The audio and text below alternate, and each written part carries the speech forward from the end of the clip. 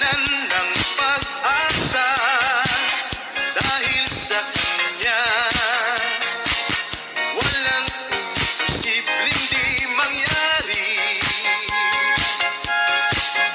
Mahalaga hindi ito sa Nasa sayo yan.